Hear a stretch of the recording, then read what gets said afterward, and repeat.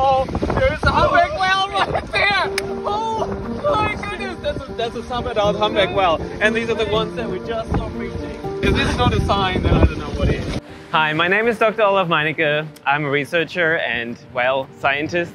And I'm on the Rainbow Warrior, where I'm studying the impact of climate change on whales and also noise pollution.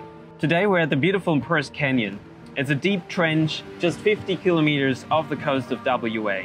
It's a vast submarine canyon with nutrient-rich waters, making it one of the most important feeding grounds for whales, birds, sharks and other large marine mammals.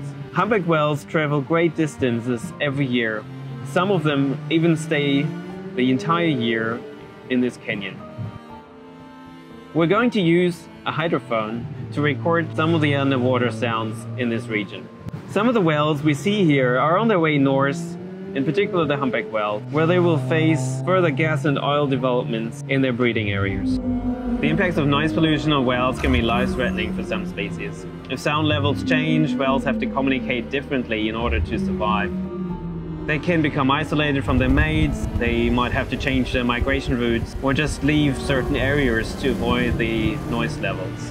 For some species, being exposed to high levels of noise, it can mean permanent hearing loss, and that, of course, can also be fatal. The ocean is such an amazing place, and the animals living in it are vital to the survival of this planet.